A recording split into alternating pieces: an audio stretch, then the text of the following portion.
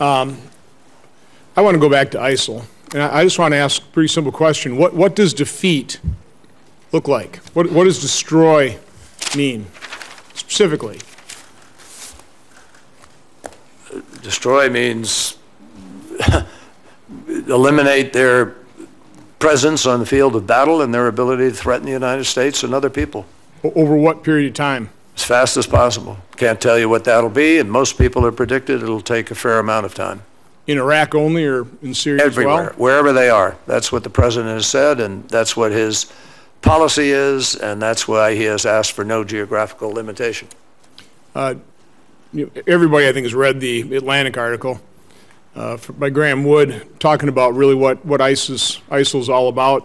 They require territory. Does that defeat mean denial of territory? Ultimately, of course it does. So what, what, what number would be left? Look, I'm, I'm, I'm trying to get some sort of sense here. I, I I mean, I can't tell you. Were, were there a few Nazis left after World War II? Sure. Did the war end and was there unconditional surrender? Yes. Did it eliminate the threat? Yes. Did we rebuild Germany and move on with Japan? Yes. But were there some Nazis around? You bet. Will there be some members lingering around, as there are of other extremist groups? Most likely, but they'll suffer the same fate. The So- point so- is, so- So sim- similar the point is, as an few people- organization, as an entity, as a viable uh, sort of conglomerated threat to the United States and the West and the rest of the world, it will be destroyed. Pretty, pretty well decimated. Okay, do you agree with, I think, most military experts that in order to achieve that decimation, that defeat, that destruction, is going to require ground forces? I Some- Of some type. I believe it will require some type of forces on the ground.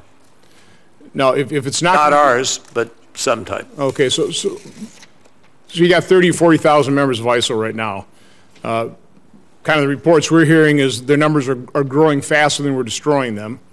Um, They're, they're not being degraded. They may be degraded in some places, but growing in others, spreading in other, other places. Uh, How, how many ground troops do you think it's going to take? Realistically, to, to decimate them, to Well- defeat them? It's not up to me to uh, prognosticate on the numbers of ground troops. That's, that's something that uh, General Dempsey and Okay. Sandy Fair enough. Winnefeld and but others have to it- put it would- together. It would, it would be, But, but one thing I know is it's doable, and there are a number of different ways to do it. Uh, And uh, we're looking at exactly what that structure and format may be, and there are a number of ways to come at it, by the way, some of which mix kinetic with diplomatic. And, and um, you know, we have to see what happens in the course of the decisions that are made over the course of the next weeks and months as to what shape that approach takes. so, so we obviously have Arab state, Arab states participating in airstrikes. Have you got commitments of other Arab states other than the Iraqi security forces and the Kurdish Per- Peshmerga? Uh, Do you have commitments from any of the other states in terms of ground troops to join that coalition? I have personally uh, listened to affirmations of a willingness uh, to do it under the right circumstances or under certain circumstances. I'm not going to call them commitments until they are in a context, but it clearly is uh, a potential under certain circumstances. Who who would lead that ground effort? Well, I- I- these are all the details that have to be worked out in an order of battle and a structure. I understand their details, but is there, is there really a, somebody targeted in- in terms of one of those Arab states that actually lead that ground effort? Somebody capable of doing it? Absolutely. Okay, let me go on to uh, Ukraine.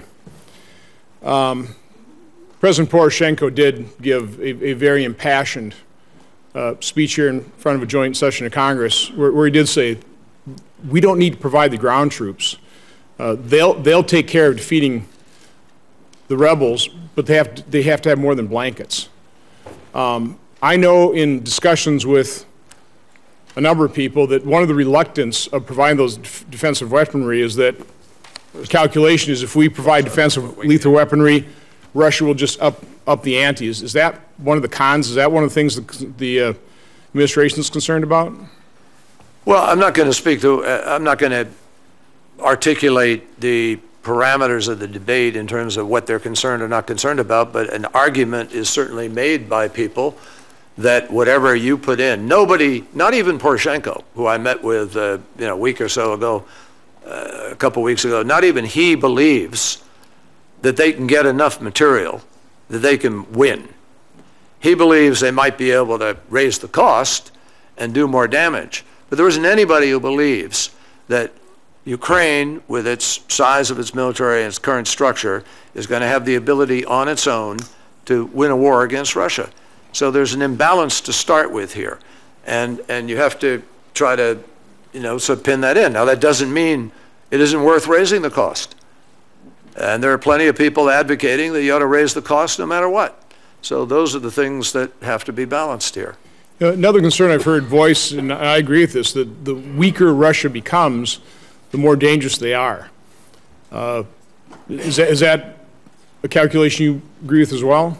Not necessarily. It's certainly one of the theories that is put on the table. It's a, it's a calculation you have to analyze and weigh, but it doesn't necessarily have to be true, no. Uh, there are elements internally within Russia that ultimately could come to play, who knows when and how. Uh, an economy by the summer uh, that is uh, still hurting uh, could be an economy that some people predict could create internal dissension and different kinds of problems. There is chatter today about a very isolated Putin with an isolated group of people advocating this and people scared to, uh, you know, I mean, there are different parameters to this. Qu- qu- I'm not going to sit here and, and analyze it, you know, at this moment, but except to say there are lots of different considerations. A, a quick budget-related question. Uh, I think everybody that's gone over to Ukraine, Eastern Europe is, is uh, dismayed at really how effective Russian propaganda is. And, and really, you know, th- there's really no pushback. It's, it's, it's, uh, uh, we- we've unilaterally disarmed in terms of propagation, or propaganda war. Is that something within your State Department budget uh, you're looking to increase? is, and but Try, it try and counter? You bet it is, but I have to tell you, it is within the constraints that we're operating in, and it is no, nowhere near uh, what it ought to be.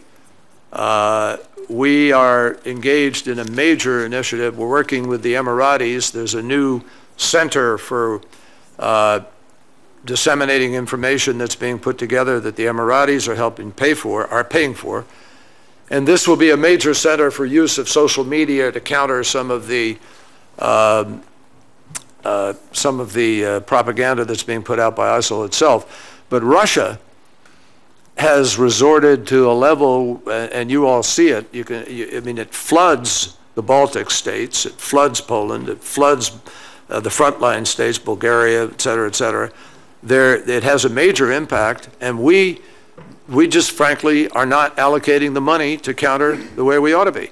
And we're fully prepared to go out there uh, and undertake this. Uh, Senator, you mentioned at the beginning why we use OCO. this is one of the reasons. Uh, we rely on OCO because, frankly, the appropriations aren't on time. And so we need multi-year authority to do multi-year tasks. And we need to get the resources to be able to respond to this kind of thing. With about $7 billion in OCO, and we're putting a fair amount of that into Afghanistan, Iraq, uh, Pakistan, and uh, Syria, humanitarian assistance, counterterrorism partnership, countering Russian pressure, we have $350 million. So that's how we're bolstering Ukraine, Moldova, Georgia to actually go after this. It's not enough. I'm just telling you bluntly, it's not enough. And they're spending hugely on this vast propaganda machine, which people believe in the places they get them because there's nothing countering it. So, according to people in many of those states, we're the problem. Russia is there defending Russian speaking people. There's no sense of Russian transgression across the border. The people in Russia don't even know how many soldiers are dying. It's completely hidden from them. And we need to be able to counter this and tell the story. So My, my point exactly. Uh, Thank you, Mr. Secretary.